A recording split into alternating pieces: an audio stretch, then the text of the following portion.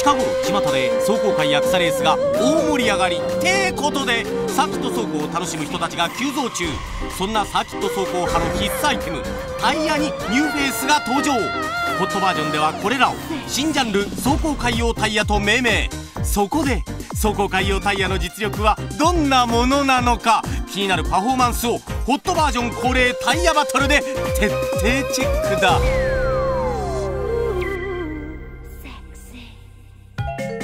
しかしその前に素朴な疑問としてあるのはハイグリップタイヤと S タイヤの違いはどこにあるのってこと。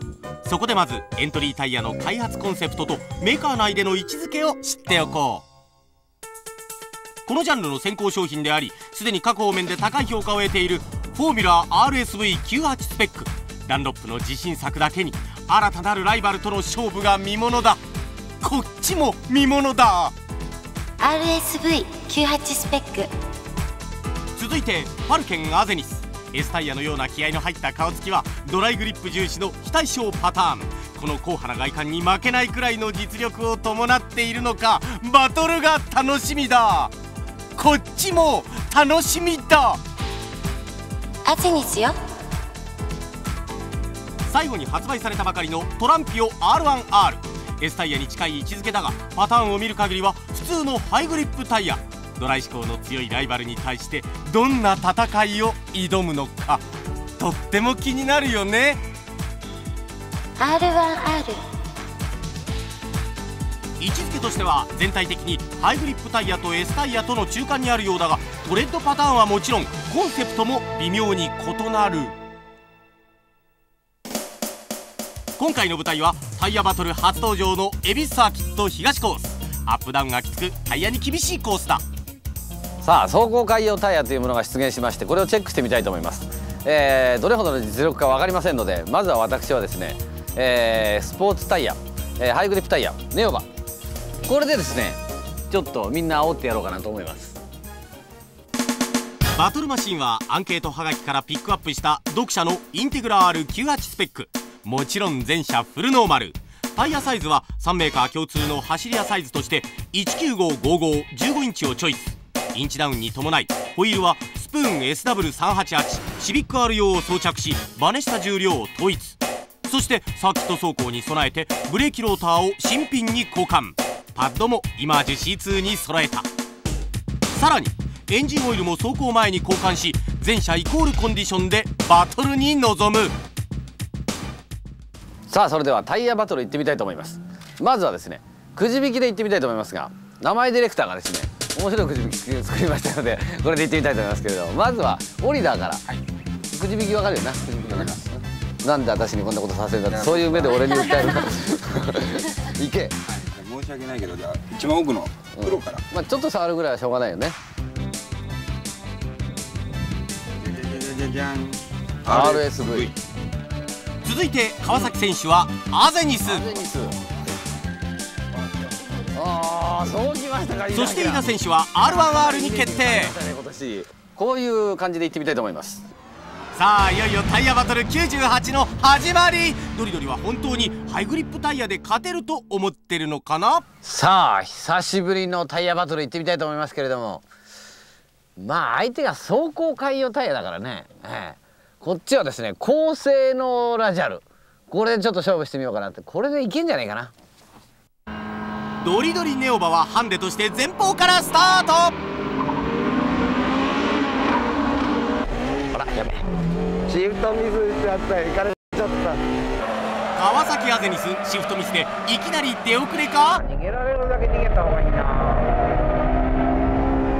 飯田選手の RA R1R はいきなりアンダーっぽいなあそこは。うわあ俺とに負けちゃった今回のバトルは一発の速さだけでなくみんなが気にするタイヤの垂れや減り具合を見るために10ラップの長丁場とした。この辺がねアンダーなんだよね。そう言いながらもオリド RSV が土屋ネオバをぴったりとマーク。北さんのネオバはししばらくしたら垂れてくるだろう。もう来ちゃったよ。あららららら。さすが走行海用タイヤ各社連なって2部屋に侵入。スタートのハンデはすでにゼロ。ドリドリピンチピンチ。マジで走んねえとやばいっつうの。高速コーナーからのブレーキングはタイヤにもつらいオリド RSV 早くもブレーキロックか？いやこれすごい同じスピードで前の車と入ってってもアンダーが出ちゃう。その割には速い川崎アゼニス。飯田 R1R のスリップに入る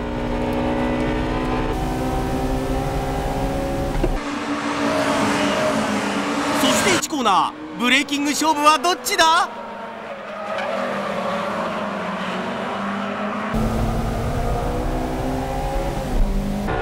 ごめんなさいね。川崎アゼニススタートのシフトミスを挽回。一方こちらはドリドリ後方カメラ。オリド RSV 下りで突っ込みすぎて大アンダー。後ろがね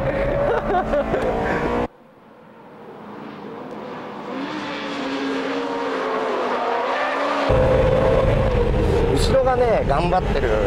あやべやべやべやべやべやべやられちゃうやられちゃう。しかしアキラも三速作戦が裏目に出て抜けない。いけるんじゃない？もしかしたらね。早えなネオバネオバが走行会用タイヤ勢を従えて3ラップ目に突入。後ろの2台との差が広がり始めた。頼むぞチャッピー分かった分かった。これねもうゆっくり。チャッピーの言うゆっくりとは進入を抑えて入る作戦。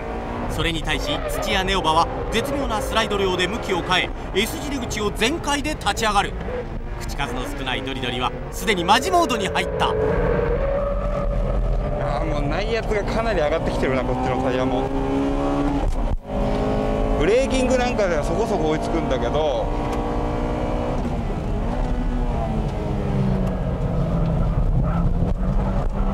の後が知りたいのオリターや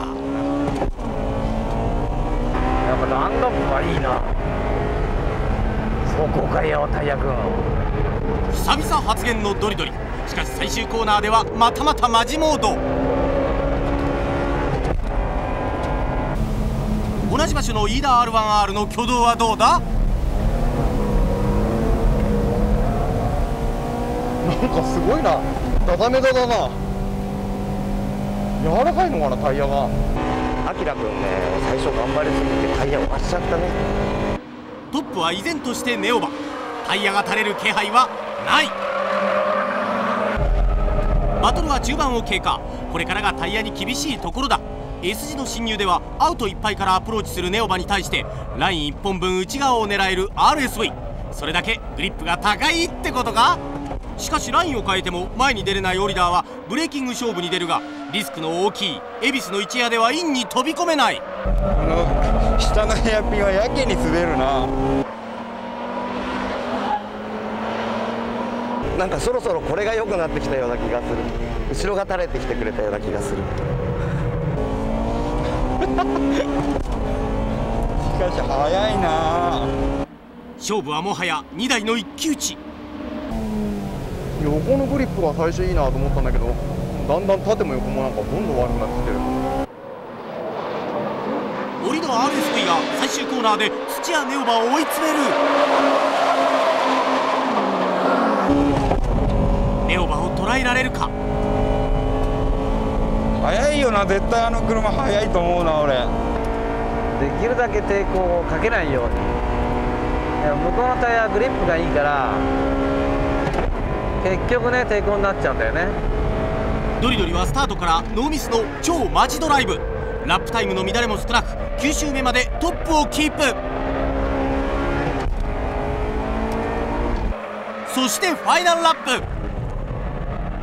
最初もグリップいいと思わなかったけど そんなにこれ変わんね逃げるネオバを追うオリド RSV 走行海用タイヤのプライドにかけて最後のチャンスを伺う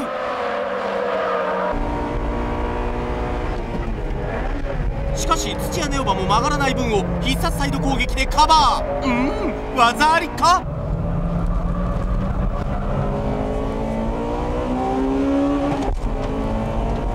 いやちょっとこれ内圧が今高すぎるね。もう全然グリップしなくなってきた。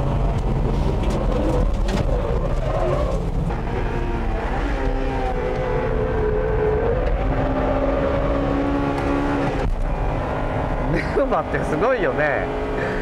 相当海洋タイヤと一緒に走ってるよ。ここがどうしようもないねこの横が。さあ最後の上り勝負。簡単に抜かれないところがネオバのいいところなんですね。そしてチェッカーベストタイムはオリド RSV が取ったもののネオバの予想外の健闘に誰もが驚く結果となったうんこれはね誰が履いてもこういう風に走っちゃうなこのタイヤは。なんでもないもんねほら。均一に減ってる。均一に。でどっかのブロックがやられてるっていうことないでしょ？まあ多分他の皆さんはタイヤが温まってきてアンダーに苦しんでたんではないかなと。このように推察するわけだな、はい。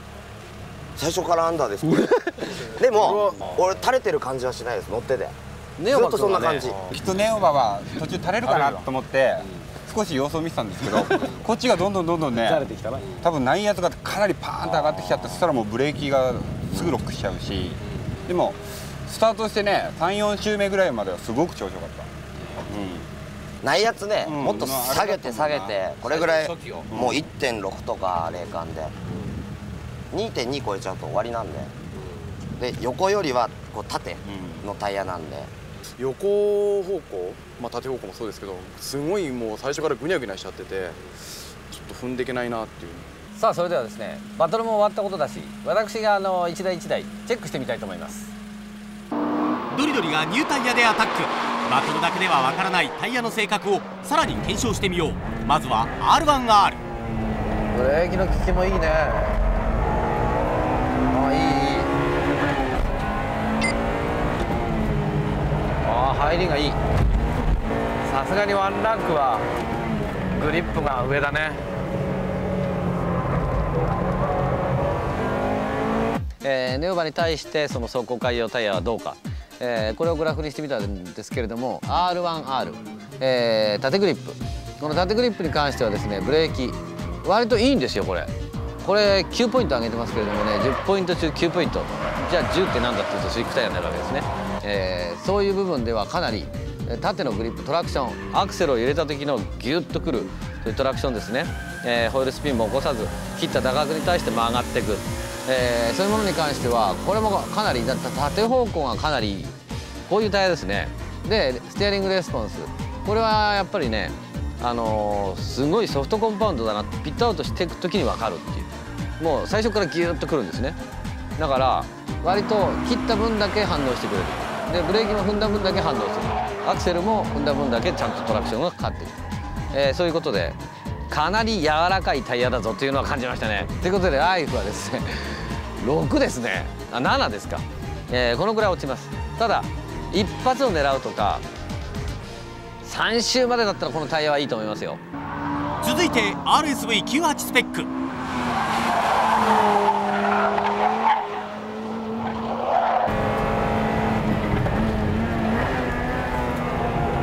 頭の入りがいいな。出口はそんなに特にいいってことじゃないんだけれどもシフトアップの場所が速い。これは扱いやすいな。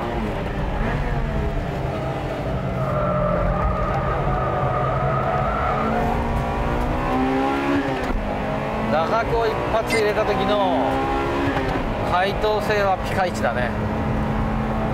RSV98 スペックですね。これはねあのー本当に S タイヤに近い性能を持ってます。